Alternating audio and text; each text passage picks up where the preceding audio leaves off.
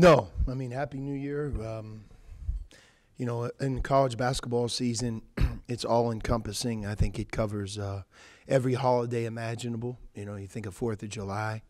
Uh, a lot of people would say, well, that's not part of the college basketball season. You know, that's the peak of recruiting. You know, you, you go through them all. Uh, so I think for us, uh, moving to through the Christmas break, moving here through uh, New Year's Eve, New Year's Day, uh, and um, you know, as a team, our guys have done a really good job of uh, doing both, and whether it be school near the end of the semester, but um, we're always it always seems like you're busy over over this time of year. And uh, how do you think about your team at this point in the season? What have you learned from them? Um, well, I think a couple things. You know, um, number one, uh, you know, big concern is just our overall ability to rebound, especially against big physical, athletic teams. And um, you know that doesn't mean us, you know, necessarily killing them on the glass second shots. It's it's can we hold serve? Our guards have to do a great job of uh, blocking out and rebounding you know, really everybody that, that plays in the game has to do a great job. And uh, we got to do it as a team, do the very best we can in battle.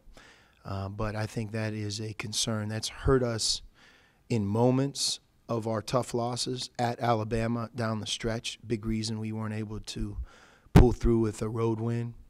Obviously, Baylor speaks for itself.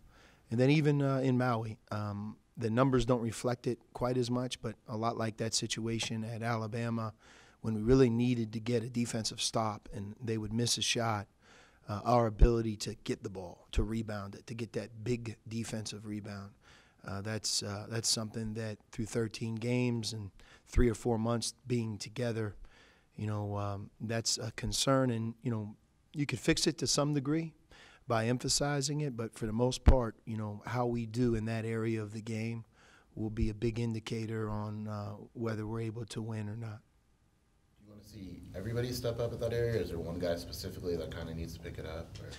Everybody, uh, but you know, and every single player can do a better job. I think Chase is our leading rebounder right now. He averages seven rebounds a game, which is good. But on this team, you know, uh, could we get eight out of him?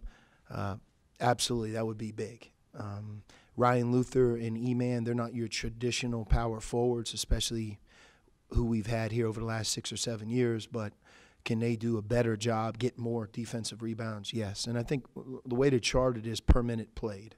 If you look at our guys per minute played, how many defensive rebounds are they averaging? Because on the offensive end, we don't ask everybody to go to the offensive glass. So if Justin Coleman has zero offensive rebounds the entire year, that's fine. But can we get him to defensive rebound more? And you look at the margin, it's 35 and a half to 34.8. Uh, that margin has never been tighter since I've been.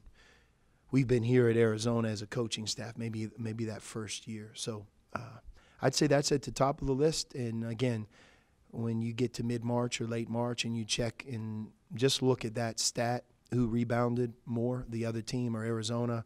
Did we improve in that area? Um, were we able to hang in there? Uh, that will be a big, big reason that we either did it or didn't in terms of having a successful season.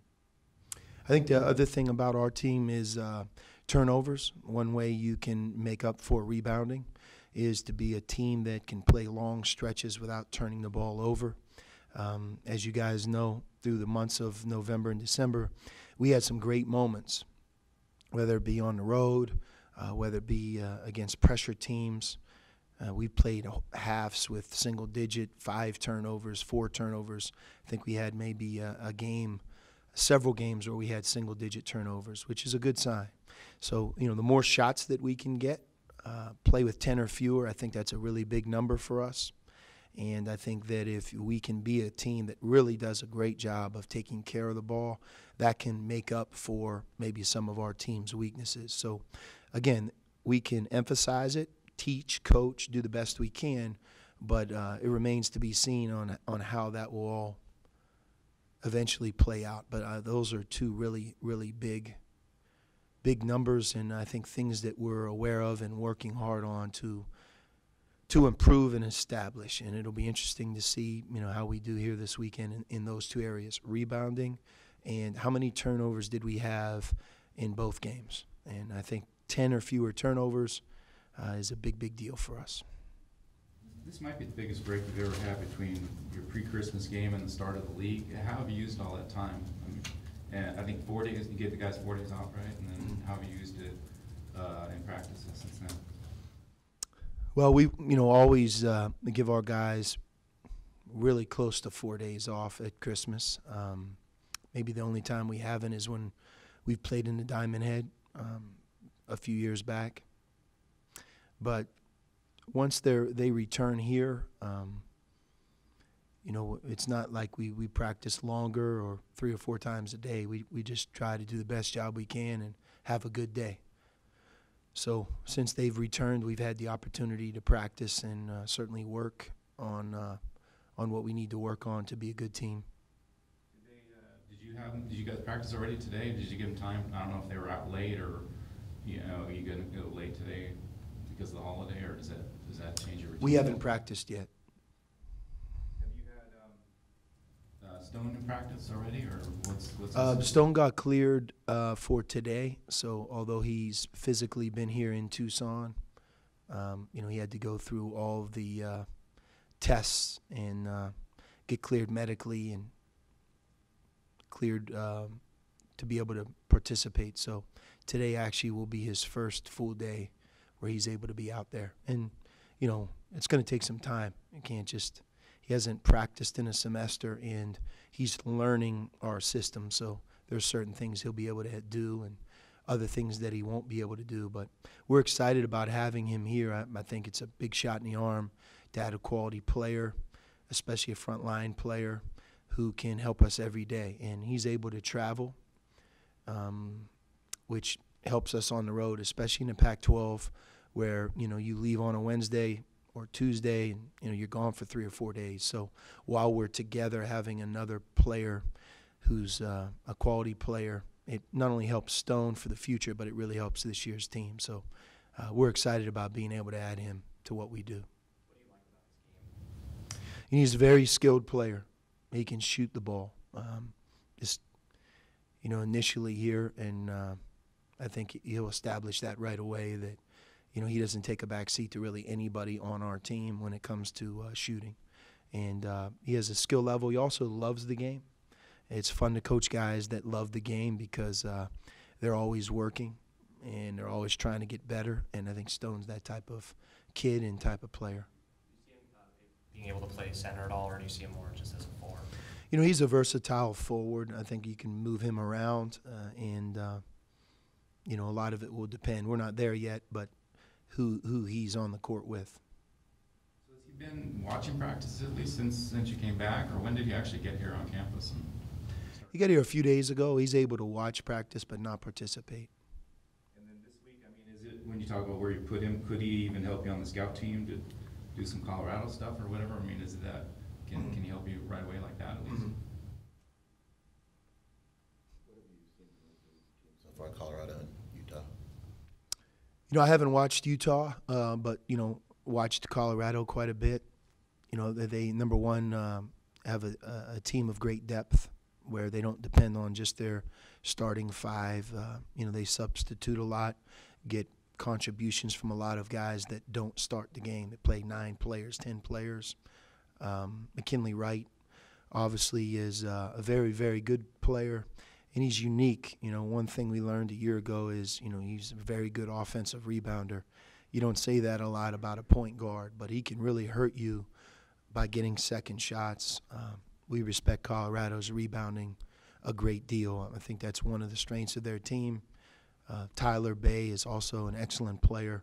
He was very good last year as a freshman. He's he's added to what what he did a year ago. He's he's better, and uh, I think he's going to be one of the best forwards in the in the Pac-12, and uh, you know they have a number of different guys that that contribute balanced scoring, and, and I think the pace of play for Colorado this year is up, so um, I think they they thrive in transition, and really seem to be playing at a faster tempo than maybe they have in the last year or so. You've always talked about players that make the jump from freshman year, sophomore year. When you watch McKinley Wright, what, what do you notice about him? Well, it's uh, he was so good as a freshman. You know, and he just, he just be, he's a better version of, of himself. You know, I think he the things that he did well a year ago, he's just that much better at. You know, he makes his teammates better. Uh, he's got great vision. His size as a guard really allows him to see the floor. And uh, a year ago, you know, we did a, a poor job of just trying to take away his vision and being tough on the ball. And you know, when you have uh, for example, two people on the ball playing ball screen defense, you know, not allowing him to see the roller, not allowing him to just take a look at the opposite corner, and he can find people because he's strong, he's big, he can see over, and then he's just a very clever passer. So, you know, when you look at him getting 10 assists in a game, I mean, you get 10 assists in a game, that's a big, big day, and he's capable of being a, a player that can have that type of number. So, our ability to not just block him out, keep him off the glass, make sure he doesn't have a big scoring night, that's only part of it. The other part is to not allow him to survey the court as best we can, not allow him to get in the lane and find uh, his teammates because when he does that, he really uh, makes his teammates better, and that's when Colorado's at their best. Um, the last two games before uh, the break, you guys a lot, lot fewer threes. Is that kind of based on how you guys are shooting that? Is it kind of what you see? Is that a trend you see continuing? Yeah, you know, I mean, there's two parts to it. We're working very, very hard to become a better shooting team. I think we have some guys that maybe haven't shot the percentage they're capable of shooting. When you look at our non-conference numbers, uh, you know, they're they're at times alarming just because the percentages aren't great.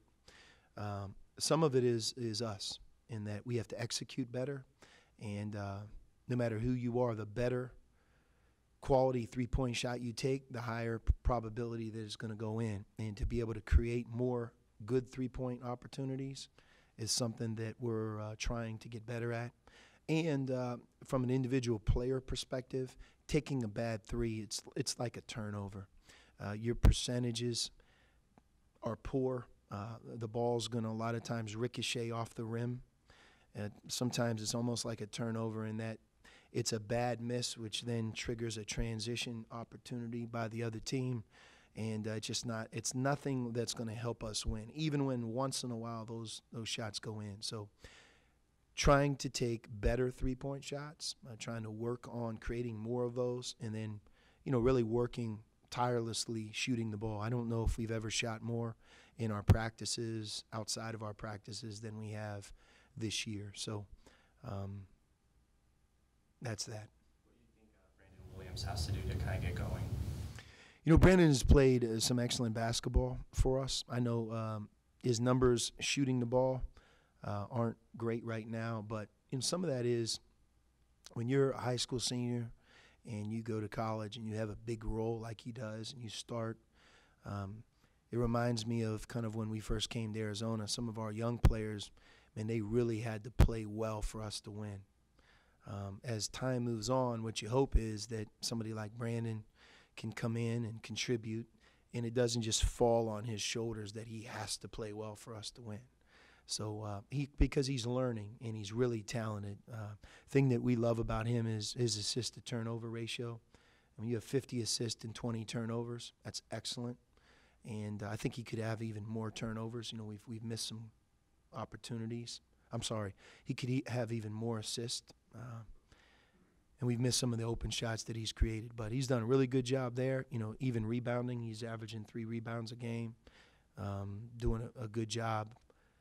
At the foul line, uh, I think for him, it's just uh, more games he plays, the more practices that we have, the better he gets. And I believe that his shooting percentage will rise. But it's really unfair to judge him through the non conference season because we're asking him to do a lot. He plays the one, plays the two. We're asking him to play harder than he ever has defensively. Uh, we're asking him to make shots. We're, you know, a lot rests on his shoulders. And the good news for him is he's going to continue to grow and develop because he has such a great opportunity. And uh, hopefully, as we keep looking at his shooting percentages, they'll uh, they'll go in a positive direction because I have no doubt he's a better shooter than he's shown so far. Is he and Ryan pretty much hundred percent at this point, do you think, with all, with the time off? I was wondering, when you look at the Pac-12 being the, the way it's been, um, do you figure maybe the, the schedule could influence how, how the race plays out this year? And, and particularly with you guys, what do you think about not going to Washington not getting USC, yes, uh, UCLA here? I mean, you just have to play the schedule that that that is uh, provided. Um, you know, we've we've done it just like all all teams in this conference. Sometimes you have two away that you wish you might be playing. Sometimes you have two at home that you're not that you wish you were playing. But it, we all play 18 games, and that's the schedule. And uh, we have to play uh, nine at home, nine on the road, and be at our very best in all 18. So I, I don't think we get caught up in who we're playing or who we're not playing. Um, that's more for, you know, I think people on the outside to speculate. We have to just be the most ready that we can be. You think it could stay this way? I mean, there was some talk last spring, right, that you guys might, it might get tweaked a little bit, or what's your, what's the latest kind of thought on that and the schedule? Um, I mean, I'm not, I'm not aware of, of, of anything beyond what we what we're doing right now. Kind of off top, off topic, but what do you think of the way the women's team has been kind of playing in the, their win over ASU?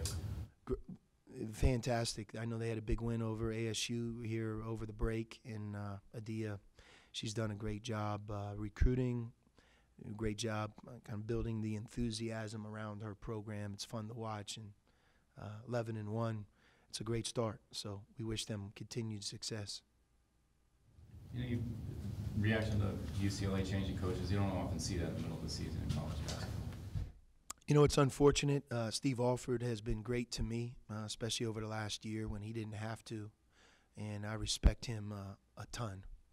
You know, he's a, a, man of great faith, uh, cares a lot about his family, and I'm sure the next chapter of his life will be a great chapter. Um, so we, you know, my my thoughts are really more with him and his family moving forward than than than UCLA. Um, so um, I wish him uh, wish him nothing but the best, and uh, I'm sure that uh, in his own way he's excited about a new chapter and a new start. What are challenges coaching at a program like UCLA? I mean, there's a lot of challenges in college basketball, college athletics right now. There's a lot of pressure to win, um, high expectations. You know, I, I go through the nine years, nine and a half now years that I've been at Arizona. If you chronicle the football coaching changes, I mean, I think there's more than 30 some. Um, in basketball, um, although not as many, but 20 some. So, you know, during an, a, a, decade, a 10 year period, that's a lot of change. It's, it's hard. Anything else for Coach?